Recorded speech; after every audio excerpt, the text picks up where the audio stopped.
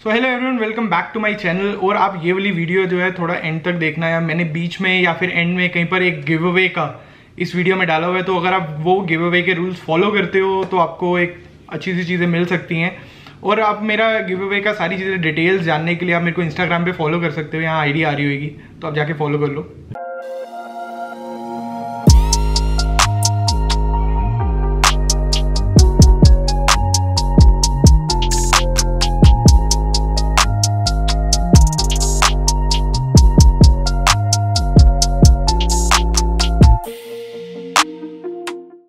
So hello friends welcome back to my channel और आज हम एक ऐसी चीज़ दिखाने वाले हैं जिसकी मेरे को बहुत ज़्यादा रिक्वायरमेंट आ रही थी कि आप इसके बारे में एक्सप्लेन करो, इसके बारे में बताओ। तो आज हम वीडियो बना रहे हैं नई कावासा की जेड एक्स टेन आर के ऊपर जो टोटली एक चेंज मशीन आई है। तो बस वीडियो स्टार्ट करते हैं।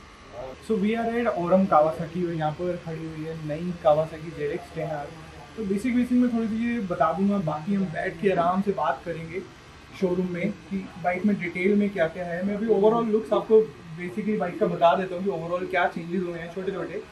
डिटेल में हम बैठ के शोरूम आराम से करेंगे क्योंकि मैं थोड़ा लेट हो गया हूँ स्टोर क्लोज होने वाला है। और अभी बाइक टेस्ट राइड पे नहीं आई हुई तो इसलिए इसका टेस्ट राइड नहीं कर सकते। पर नेक्स्ट मंथ इसकी टेस्ट राइड आ रही है तो जैसी टेस्ट राइड पे आती है, फिर इसको चलाएँगे और इसकी वीडियो बनाएँगे। पहले स्टार्ट करते हैं, इसका पूरा फ्रंट लुक्स पूरी चेंज कर दी हुई है। इधर पूरी एल ई डी हेडलैम्प्स दे दी हुई हैं। और इसका जो एयर इनटेक है, वो भी पूरा चेंज कर दिया हुआ है। पूरा बेसिकली फ्रंट तो एकदम चेंज है। बट मडगार्ड ओल्ड वाला ही है ब्रेक्स ओल्ड वाली हैं सस्पेंशन ओल्ड वाला ही है। और इसका जो fairing front tail belly part fairing part सब सेम है। इसका जो टैंक है टैंक भी ओल्ड जैसा ही है सेम है ओल्ड वाली से कुछ चेंज नहीं है उसमें भी। मिरर्स भी इसके चेंज है। और इसमें एक और बेस्ट चीज़ आ गई है कि इसमें हेजर लाइट्स आ गई हैं। आप अब चारों इंडिकेटर्स ऑन कर सकते हो, जो पहले बाइक में नहीं था। तो इसका पूरा तेल भी, तेल सेक्शन भी पूरा चेंज कर दिया हुआ है, यहाँ पे वेंट्स से बना दिए हुए हैं। वेंट्स यहाँ पर भी हैं और विंगलेट्स इधर भी हैं। तो ये विंगलेट टाइप बनाया हुआ है पूरा तो पूरा विंगलेट्स है। और ये वाला, इस, ये बाइक आ रही है, दो कलर्स में आ रही है। दो कलर्स में आ रही है, ज़्यादा आपको बता पाएँगे तो आगे भैया, आगे। तो भी ये कौन सी दो कलर में आ रही है? एक तो ब्लैक आ रही है और एक ये वाला कलर आ रहा है। तो जो ये वाला शेड है आपका किया एडिशन है दूसरा शेड जो है वो आपका मैट ब्लैक के साथ कॉम्बिनेशन है। मैं ऐसा करता हूँ वो बाइक भी बाहर ले आपको दोनों कलर साथ साथ लगा कर दिए तो सबके पास आइडिया कि क्या कलर के ऑप्शन है। बाकी आप नेशनल चैंपियन हैं तो एक बाइक को मेरे से बेटर ज़रा बता सकते हो? तो बेसिकली अगर कोई भी अभी सवागे भैया को फॉलो नहीं करता तो इनके नीचे आईडी आ रही है, इनको जाके फॉलो कर लो। और ये बेसिकली यहाँ पर सब बाइक मैनेज करते हैं बाइक सेल्स में है कावासाकी और में। तो आपको कोई भी बाइक चाहिए, इनको कॉन्टैक्ट कर सकते हो, इनकी आईडी नीचे आ रही हुई है।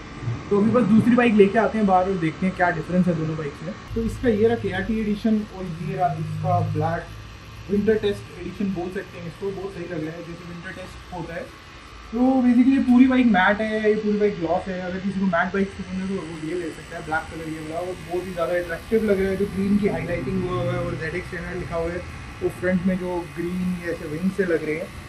तो इन दोनों की तो आगे पे कॉस्ट की बात करें तो क्या कॉस्ट होगी? अगर कस्टमर दिल्ली का है तो on the road sixteen ninety on the road पड़ेगी। ठीक है।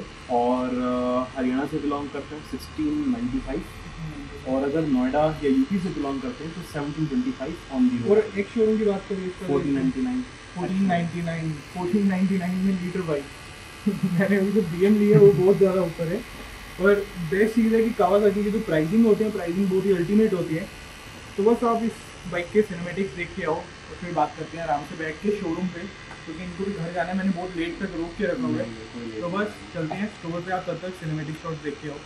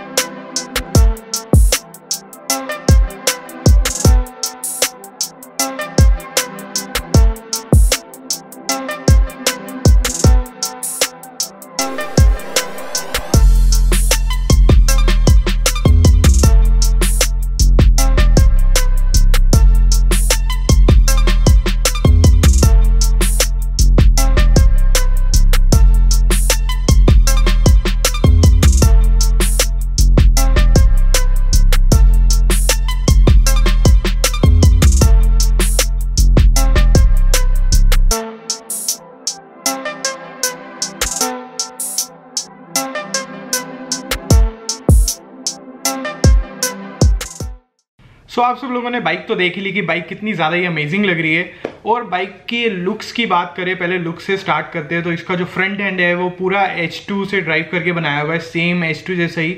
जहाँ H2 के एयर इनटेक्स होते हैं, वहाँ पर दो एलईडी हेडलैम्प्स दिए हुए हैं। वो सेंटर में जहाँ H2 की हेडलाइट होती है, वहाँ पर इसका रैम एयर इनटेक है, जहाँ से एयर फ़िल्टर को एयर जाती है एयर बॉक्स में एयर जाती है। तो कावासाकी इस न्यू जेड एक्स में क्लेम कर रही है 17 परसेंट का डाउन फोर्स फ्रंट विंगलेट्स की वजह से जो इसमें दिए हुए हैं, वो फ़र्स्ट टाइम इसमें आ रहे हैं कावासाकी जेड एक्स में, जो फ़र्स्ट टाइम फेयरिंग में दिए हुए हैं इसमें इंटीग्रेटेड विंगलेट्स सो इस बाइक के व्हील बेस की बात करें तो इस बाइक का व्हील बेस जो है, वो टेन एम mm थोड़ा सा लॉन्ग करा है प्रीवियस जनरेशन से, और इसका जो रियर स्विंगाम है, वो भी टोटली न्यू है. अपना उसका थोड़ा बहुत चीज़ें चेंज करी हैं कंपनी ने प्लस जो उसका पिविट जॉइंट होता है, उसका वो थोड़ा लो माउंट करा हुआ है ताकि बाइक ज़्यादा स्टेबल रहे। और इसमें सबसे बड़ी चीज़ क्या करी है कि जो इसका रियर स्प्रॉकेट है, पहले आते थे 39 टीथ का रियर स्प्रॉकेट आता था। अब आ रहा है उसमें 41 टीथ का। तो जो बाद में जो लोग टू अप करते थे, वो ऑलरेडी कंपनी करके देख रही है। अभी फ्रंट स्प्रॉकेट का मेरे को इतना आइडिया नहीं। पर चलाने के बाद बाइक में पता चलेगा कि क्या इनिशियल में डिफरेंस आया है बाइक में। और जो बाइक में ओवरऑल दिखने से भी पता चल रहा था कि चेन लेंथ भी चेंज करी है उन्होंने न्यू स्प्रॉकेट की वजह से। और इसका जो फ्रंट जो स्टेयरिंग का जो रैक है फ्रंट सस्पेंशन जिस एंगल पे लगाए हुए हैं उसका स्टेयरिंग रैक होता है वो चेंज करा हुआ है जिस वजह से व्हील बेस में वहाँ से भी डिफरेंस आया है। सो so, इस बाइक का टैंक तो ओवरऑल वैसे पुरानी वाली जैसा ही है बस इसमें फ्रंट फेयरिंग और टेल सेक्शन कंप्लीटली चेंज है इसमें। और इसके जो फुटपैक्स की जो पोजीशन है वो प्रीवियस वाले मॉडल से थोड़ा सा ऊपर है ताकि आप टैंक को अच्छे से ग्रैप कर सकते हो। ऊपर है थोड़ी सी और हैंडल बार पोजीशन जो है थोड़ा सा वाइड करा है एकदम BMW जैसा थोड़ा सा वाइड रखा हुआ है ताकि आपका कंट्रोलिंग और काउंटर स्टेयरिंग बहुत ज़्यादा ईजी रहे। और इसमें TFT स्क्रीन भी आ रही है। अब जैसे पहले आता था, वो नहीं आ रहा, वो सब हटा दिया है। इसमें TFT स्क्रीन दी है। बी एमडब्ल्यू इतनी बड़ी तो नहीं है, पर ठीक है ओवरऑल साइज़ ठीक है, जिस हिसाब से दे रहे हैं। और उसके ऊपर एकदम से ही उसका जो गेयर शिफ्ट लाइट होती है, वो ब्लिंकर वो उन्होंने वहाँ पर दिया हुआ है। और इसमें आपको H2 में जो लोगोज आते हैं, आपको फ्रंट पे और हैंडल बार पे सेम वो वाले लोगोज दिख जाते हैं, जो उन्होंने कंपनी ने दिए हैं। और इस बाइक में आपको क्रूज कंट्रोल मिल जाता है डिफरेंट राइडिंग मोड्स मिल जाते हैं, आपका ट्रैक्शन कंट्रोल मिल जाता है और आप बहुत इजीली इसको सिटी में भी चला सकते हो और अगर आपको ट्रैक पे चलाना तो आप ट्रैक पे भी चला सकते हो इसको, थोड़े बहुत मॉड्स करके। ब्रेकिंग की बात करें तो ब्रेकिंग सेम वही Brembo calipers and Brembo disc rotors दे रहे हैं। और इसमें सस्पेंशन की बात करें तो सस्पेंशन इसमें वही Showa B F F balance free forks दिए हुए हैं फ्रंट में और बैलेंस फ्री लाइट रियर में। और इसमें मैंने जो एक और चीज़ नोटिस करी हुई थी, जहाँ कहीं पर भी इन्होंने मेंशन नहीं करा हुआ, पर प्रीवियस मॉडल से इसकी रियर शॉक की लिंकेजेस भी चेंज हैं थोड़ी बहुत। तो वो बाइक जब हम चलाएँगे तब पता चलेगा बाइक अभी कहीं पर भी टेस्ट राइड पे नहीं आई, इसलिए चला नहीं सकते, पर जैसे ही टेस्ट राइड पे आएगी तो इसको ज़रूर चलाएँगे।